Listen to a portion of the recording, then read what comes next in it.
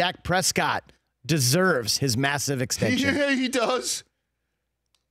Not only is it his turn, and I know you hate that, I do. I'll just repeat it again. Zeke is the reason why this team is a championship team. When he's in the game, he's that big of a difference maker because Dak can't do it himself. That was the narrative all summer long. This kid heard it, didn't get phased by the fact that the ownership didn't give him a contract before game number one, didn't threaten to hold out. Number of tweets I saw, if I was Dak, I wouldn't even take the field. He takes the field and he dominates, dominates, crushes it. He can do it with his legs. He can do it with his arms. He can do it with his head. He has absolutely taken his game to the next level. And Dallas is a bona fide Super Bowl contender. And if I'm a Cowboys fan, I am saying, Jones family, just do it. Love the guy. What are you going to do? Let him go to another team and try and start from scratch? Right. Don't franchise tag him. Just get it done so it doesn't cost you more money. How much pie is there left? How much pie? There is less pie. Right. Yeah, 400 yards, four touchdowns. I, I tweeted out the next guy that should hold out is Kellen Moore. Yeah, right. He was phenomenal the yesterday. offensive coordinator. Yeah. Hey man, they've done it. They've they've got they it was an A plus performance coaching, general managing, owning, playing yesterday for the Dallas Cowboys. A plus across the board. Lamar Jackson had a huge game yesterday. let, let, let's hear from him after the game. This was awesome. Not bad for a running back. But yeah, um, offensive line did a great job. Um, I didn't have, I barely had pressure. Receivers did a great job of getting open, catching the ball, scoring a touchdown. That's what it's all about, and that's what we did today. Only ran three times, baby. He was asked about how well he threw it. Not bad for running back. So what's your what's So your the, over, the overreaction here is Lamar Jackson and the Ravens are for real. I mean, they played an FCS opponent yesterday. you know what? And I I, I I I will say this here. They played a team trying to you, lose. You know how you know. First of all, they're not trying to lose. It's a front office trying to lose. They're the succeeding. players are not trying to lose. The players and the coaches are not trying to lose. The front office is. So, I will address the Dolphins coming up later. Okay. Here, I just want to hit this.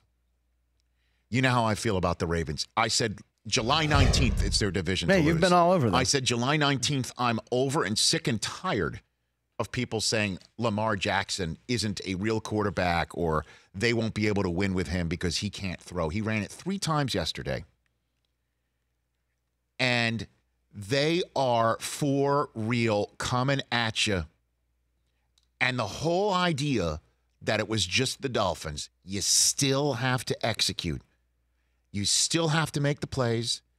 When your receivers have a step on somebody or two, you still have to hit them. When the defensive line you're going at is tired, you still have to execute on offensive line and make the mistakes. You still need to hit the hole if you're running backs. You still need to make your blocks if you're up front.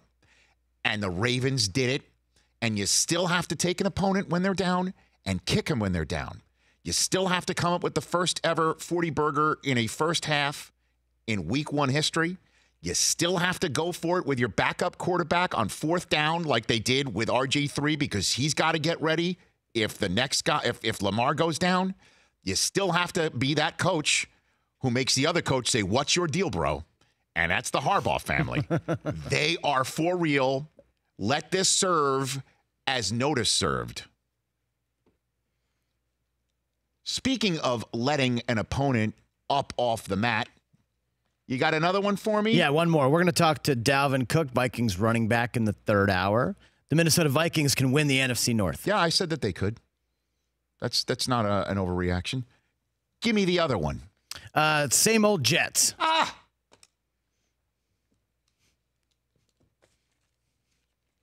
Here's the way it's not an overreaction. Le'Veon Bell was terrific. Looked pretty good. Okay. And the Jets don't have Le'Veon Bells, with the exception of Curtis Martin and maybe back in my day, good old Freeman McNeil. So that's different. But I want to say this to my Jets fan base friends. Like Greeny, who's renaming his kids Sam and Darnold. Let's see Sam Darnold do it first, please.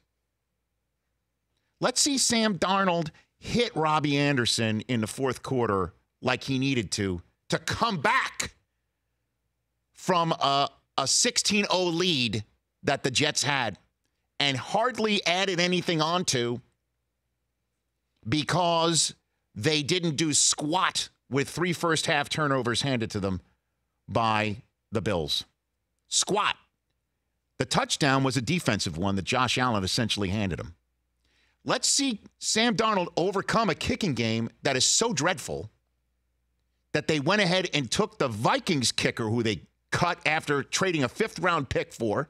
They took that kid, Vedvik. I don't even know if I got his name right. That might have been a whole mad dog situation right there. They took that kid. Hey, Jets, Carli Lloyd's from New Jersey. It's a local call. Make it.